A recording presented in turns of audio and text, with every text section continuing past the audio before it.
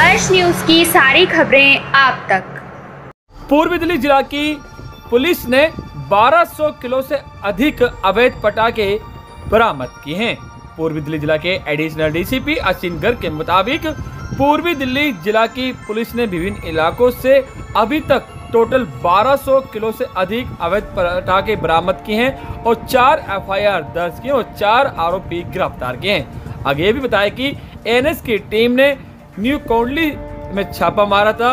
वहीं न्यू अशोकनगर थाने ने दो अलग अलग जगहों से दो आरोपियों को गिरफ़्तार किया है और अलग अलग इलाकों से अवैध पटाखे बरामद किए हैं। वहीं चौथी स्पेशल स्टाफ की टीम ने मंडावली थाना क्षेत्र में छापा मारा है। टोटल चारों जगहों से अभी तक 1200 किलो से अधिक पटाखे बरामद किए हैं और तीन एफआईआर न्यू अशोकनगर थाने में दर्ज हुई है। वहीं एक एफआईआर मंडावली थाने में दर्ज हुई है।